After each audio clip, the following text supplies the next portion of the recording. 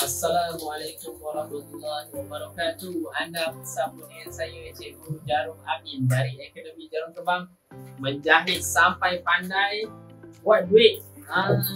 So yang ini saya tunjuk pada anda badan bahagian dulu. Yang ni badan depan dia. Jangan bagi tinggi sikit.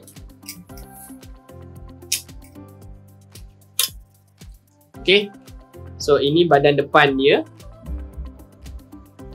Ni badan depan.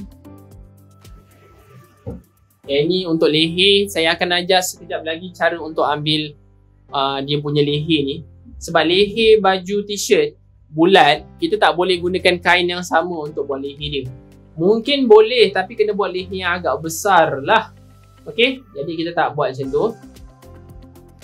Okay, lepas tu dia punya badan belakang dia. Badan belakang dengan depan kita boleh guna pola yang sama.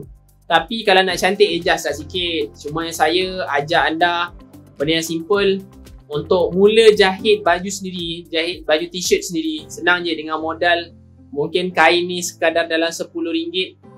Baju beli kain mungkin 1 meter 1 meter dengan rib anda boleh dapat 2 atau 3 helai baju lah.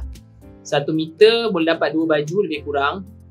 Uh, ataupun satu baju sebab lerang ni besar. Okay. Lepas tu dia punya rib uh, beli sikit sebab rib dia tak jual jual sikit sangat. Rib macam ni dia jual suku suku meter. Suku meter. Maksudnya 25 cm lah kat sini. Ah, uh, yang ni sikit je. Sebenarnya kita nak pakai leher sikit je. Tapi dia tak jual terlalu sikit. Dia jual dalam kadar uh, 25 cm ataupun suku meter. Uh, bersamaan berapa ringgit? Saya tak ingat lah. Tapi memang murah pun dekat Shopee yang saya beli. Okay. Okay. So di sini kita sudah siap uh, badan depan. Okay, ni badan depan, ini badan belakang. Step pertama, kita akan jahit bahu dulu. Boleh komen dekat sini Kak Jumayah. Kita jahit bahu dulu, lepas tu baru kita jahit leher. Okay, tolong komen jahit bahu, lepas tu kita jahit leher. Ah, ini step dia. Senang je kan? T-shirt. Basi dekat t-shirt ni. okay, basi dekat t-shirt ni Kak Ashima adalah suku inci. Suku. Semua saya buat suku kecuali bawah baju. Okay. So, cuma mencabarnya kalau saya pakai mesin portable ni, uh, kadang-kadang saya jahit dia tak tak kena tempat pada. Maksudnya bila saya jahit kan, first jahit tu dia macam serabut sikit. So, saya ada trik saya sendiri yang saya buat. Saya langkahkan sedikit. So, ada bahagian yang tak dijahit sikit. Jadi saya tunjuk lah. First kita jahit suku inci dulu. Bismillahirrahmanirrahim. Turunkan jarum. Tarik benang belakang sebab kain t-shirt ni lembut. So ada benang kat belakang ni kita akan tarik supaya dia dapat masa dia sentuh jahit dia dia dapat tolong tarik kain tu. Okay, ni saya punya cara lah. Mungkin anda di sini dah biasa menjahit kan. Saya nak ajar kepada yang beginner eh, yang betul-betul nak belajar stay live ni sampai habis. Sebab orang yang berjaya adalah orang yang tengok live sampai habis. Jahit suku inci saja pada bahagian bahu kiri dengan kanan. Kalau anda ada mesin eh, saya jahit dulu tak dengar pula ha.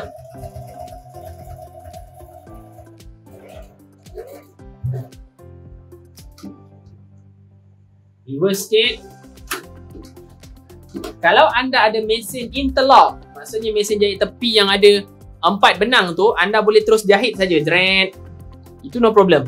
Okey? Tapi mesin saya ni bukan mesin interlock. Ini mesin portable khas untuk orang yang baru belajar menjahit. Ha, macam yang sedang tengok live ni mungkin dekat sini orang yang dah lama belajar menjahit tapi tak pandai buat t-shirt. Kita belajarlah. Okey maksud saya dekat sini saya tak jahit daripada betul-betul hujung sebab kalau saya jahit daripada hujung nanti dia makin sangkut lah benang dia. Ha, tu tips lah. Saya pun biasa mesin industri kalau ada masalah tu saya tak akan jahit daripada hujung, saya akan jahit sedikit ke hadapan supaya dia tak merosakkan kain. Tapi pada bahagian penghujung ini ha, pun sama juga saya tak dapat nak jahit sampai ke hujung nanti rosak kain tu saya matikan sikit. Ha, jadi dia dah lock kat situ. Ulang langkah yang sama untuk bahu sebelah. Ha, senang kan? Senang saja jahit baju t-shirt ni sini. Kalau jahit baju Melayu, saya kena buat penyediaan yang banyak. Tertulang dan sebagainya. Ini t-shirt ni insyaAllah. Kalau semua orang Tengok sampai siap ni Sekejap lagi live Anda dah boleh buat t-shirt sendiri Sekejap lagi habislah dah boleh buat t-shirt sendiri ha. Senang kan Boleh jahit situ Boleh jahit dari sini Saya nak jahit daripada Sisi bahu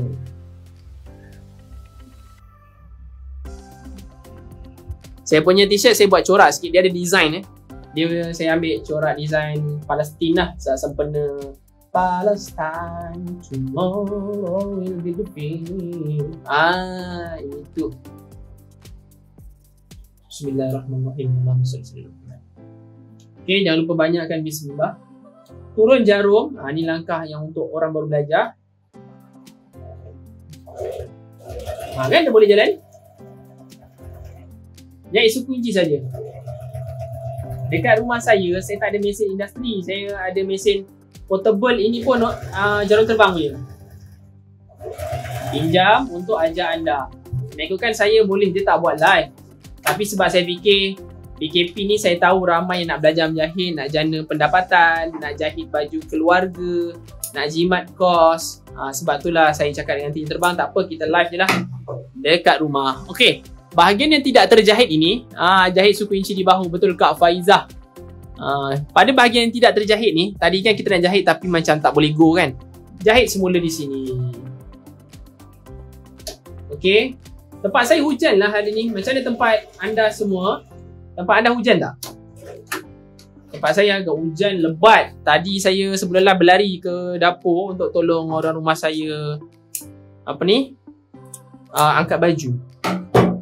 Ah, nampak ini hasilnya. Selepas kita dah siap leher eh sorry bahu. Kita akan jahit leher leher ni ni tips eh. Siapa nak tips? Siapa nak tips?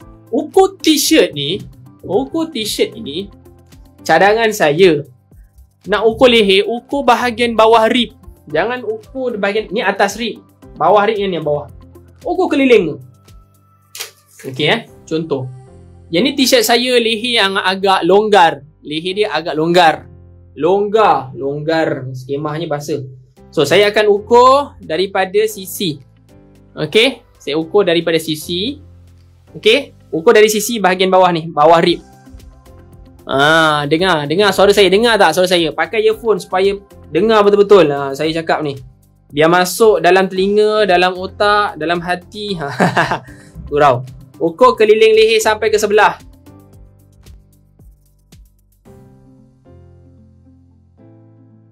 Okey, 16. Nampak kan leher saya? Besar ni leher saya. Pada bahagian bawah. Okey.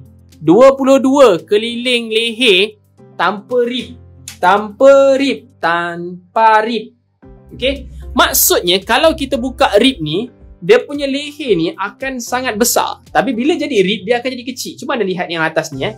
So, saya nak anda faham konsep dia dulu supaya anda tahu anda boleh nak besarkan collar tu paras mana. Okey? Dia janganlah ambil ukuran collar itu berdasarkan baju.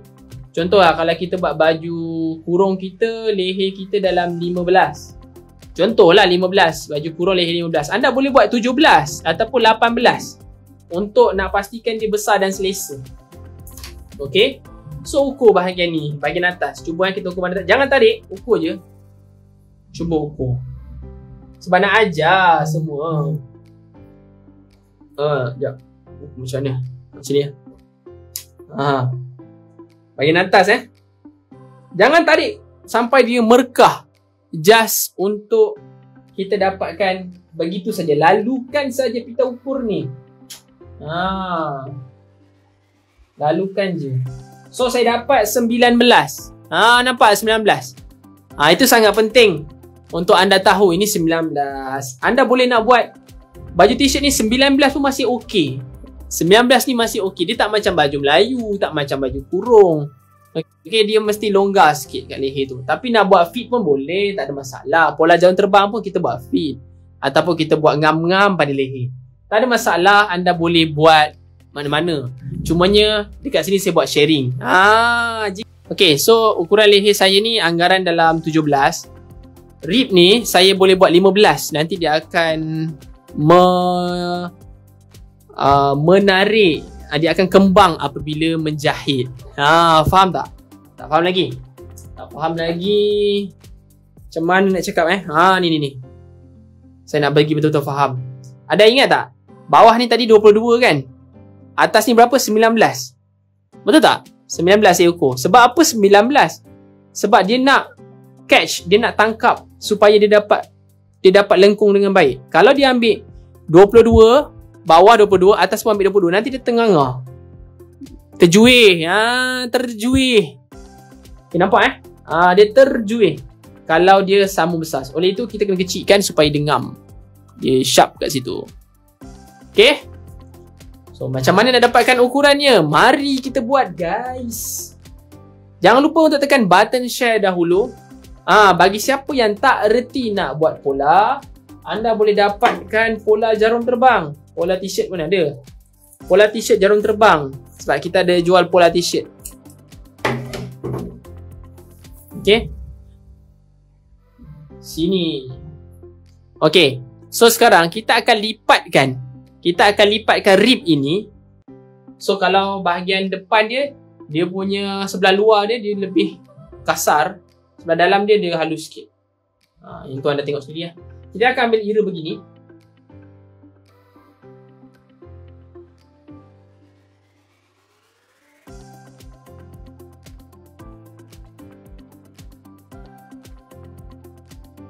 Okey, jadi bila apabila leher tu 17, anda boleh buat leher tu uh, ribnya adalah 15. Dia mesti kurang 2 inci ataupun boleh buat 14. Okey, faham? Sebab kalau kita ambil 17 juga, dia akan besar dan terjuih. Oleh itu, lipatkan rib ini kepada dua. Saya gosokkan supaya dapat line. Okey, dapat line.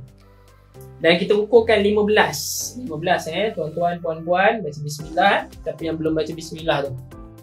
Sebab ni nak belajar majlis ilmu. So, lebarnya adalah berapa? 1 inci. 1 inci untuk dua lapis. Macam itulah. 1 inci pun sama, sama juga 1 inci. Sama juga 1 inci. Ha, ni 1 inci. Okey, bila kita sudah dapat 1 inci dan gariskan.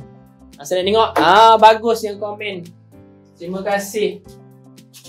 Saya doakan anda yang aktif komen ni berjaya buat baju insya-Allah.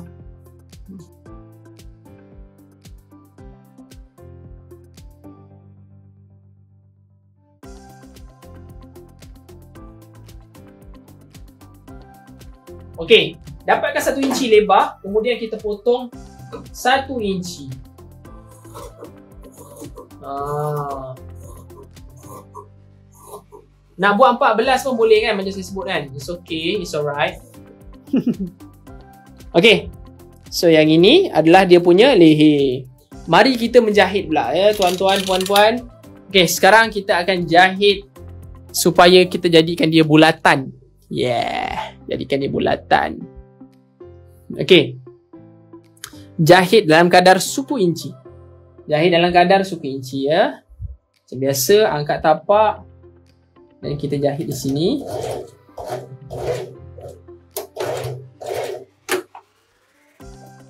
Suku inci.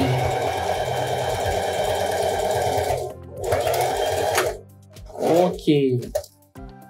Siap suku inci. Okey, ramai yang dah ada pola tapi ramai yang belum ada pola t-shirt. Nah, mesti pelik. Oh, jangan terbang ada pola t-shirt juga. Siapa yang baru tahu ni? Ha, tak apalah. Kita buat sharing lagi. Okey, selepas kita dah jahit. Ini kita nak jahit rib eh. Bahagian yang paling paling ramai tak tahu jahit ni. Sebab tu saya nak fokus kepada jahit leher. Lepas tu jahit lengan. Macam biasalah. Sekejap. Kita akan gosok dulu rib ni. Maaf lah ya. Maklumlah live seorang-seorang. Okey, kita akan gosok rib ni, gosok secara buka. Mari kita ambil ambil ambil kita punya iron. Iron, iron, iron. Iron tanpa menggunakan alas. Asal boleh je. Iron buka dia punya basi ni. Yang ni banyak nampak boleh buat banyak banyak leher ni, boleh buat banyak leher.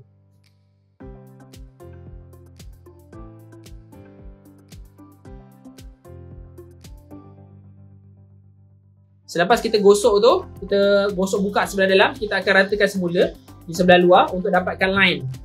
Kita nak line sebenarnya. Sekarang kita akan jahit. Ha, ni masanya untuk kita jahit dengan badan. Yes. So saya nak bagi tahu trik yang saya buat lah. Bagi mengelakkan gelembung gelembung rib ni tak seimbang. So ada yang mungkin tak tahu nak start dari mana kan. Nak start dari mana tak tahu. So saya bagi sikit lah tips yang saya buat untuk mudahkan anda macam mana supaya nak elakkan gelembung ini tidak sekata. Faham tak maksud saya gelembung? Kan ni anda jahit kan? Anda jahit anda kena tarik. Masa anda tarik, alamak rupanya terlebih tarik menyebabkan kedut. Ah, yang ni tips yang saya nak share kepada anda. Okey, siapa nak belajar? Nak belajar? Nak belajar ke? Ah, menjahit mesin portable macam saya punya. Ya, sama mesin portable. Terima kasih Kak Fuzias, Kak Faizah. Ha. Okay. Tolong saya tengah button share dulu. Saya sharekan sikit tips saya. Saya akan buat dia punya jahitan ni. Ni nampak bekas jahitan ni. Berada di, bukan di tengah belakang. Tapi di sisi sikit. Paras ni ke? Setara ni. Setara ni. Paras ni. Saya birukan. Kapurkan dia.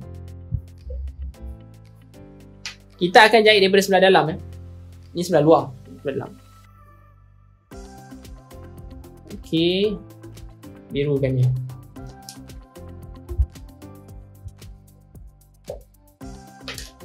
Okey, nampak eh? Saya dah dapatkan birukan dia kan. Pegang dia. Ada orang baru follow sebulan. Nurikin. Terima kasih. Okey, pegang yang tempat kita tanda tu. Tarik macam ni. Jangan lupa si first academy terbang. Tarik bukan tarik, dia ratakan ni agak perlahan sedikit tarik je lah. Ratakan, ratakan, ratakan, ratakan. Dapat yang hujung ni. Pun tandakan dia. Okey, sekarang saya tunjuk kepada anda bahagian yang berjahit ini kita akan jahit di belakang dahulu. Okey. Ha. Dan kita akan sebelum jahit tu, yang bahagian berjahit ni kita kena cari tengah, tengah rib dia yang berlawanan ni step yang mudah je sebenarnya tapi saya yakin ramai yang mungkin tak biasa buat ada orang dah pro dia tak ada buat benda ni dia terus jahit je tapi saya risau kat sini ramai yang ha, belum pro macam saya pro sak kan jadi saya nak ajar lah ok so kita dapat yang tengah dia step yang pertama kita akan jahit di sini dulu jahit sikit zret sikit kat situ lepas tu kita akan jahit sikit pada bahagian yang telah kita tandakan tadi Ah, okay. Jom kita mula eh. Boleh kita mula. Bainon Madam, Bainon. Ah, terima kasih sebab tengok live ni. Jangan lupa tekan button share semua. Sebaik-baik manusia adalah manusia yang memberi manfaat kepada orang lain. So, iaitu anda lah. Orang yang memberi manfaat kepada orang lain. Saya nak tunjuk step satu persatu je. Mudah je. Angkat tapak. Saya doakan anda semua berjaya buat t-shirt sendiri lepas ni. Turunkan tapak, kita akan jahitkan dalam kadar suku inci je. Okay, jahit basi suku inci je kat leher ni. Okay, jahit sikit saja. Sikit saja kasih itu lock kain rib dengan leher. Ah, faham tak? Salam cikgu dan share Ahlia Kamarudin. Terima kasih Kak Ahlia. Masuk terus share. Ha, anda yang dah, dah tengok dari tadi ni dah share ke belum? okay. Lepas kita lock di bahagian leher tu, tak cari yang ni. Ah, yang ni. Yang bahagian kita tanda leher yang berlawanan, cari pada bahagian rib ni pula yang kita tanda pada bahagian berlawanan dengan jahitan tu. Lock ini pula. Lock sini. Okay, bismillahirrahmanirrahim. Lock guys, lock. Okay, kita lock. Macam ni.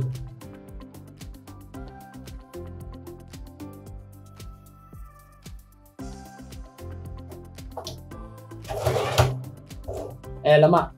Sepatutnya basi suku inci. Saya ter terambil basi kurang suku inci. Nanti kita adjust semasa kita nak jahit keseluruhan. Okay. So, basi yang saya ambil ni kurang daripada suku inci. Nanti kita adjust semula. No worry. So sekarang kita dah dapat bentuk dia Bentuk leher Kita dah nampak Kita dah dapatkan dia punya kedudukan dia Nampak tak kedudukan dia dapat? Nampak ke tidak? Tolong komen. Nampak ke tidak? Jahit suku inci betul ke Faizah? Rajin Kak Faizah komen ni. Ha. Bila kita dah lock dia punya tengah belakang dengan tengah depan, barulah kita boleh tarik dan kita jahit.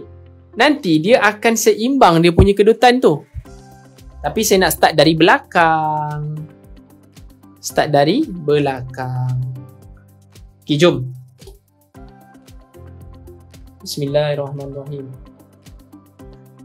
Hai, anda nak lagi perkongsian daripada cikgu? So, jangan lupa untuk tekan like, subscribe dan tekan loceng supaya anda tidak tertinggal lagi info dan ilmu jahitan daripada kami yang kami akan kongsikan. Bye, jumpa lagi!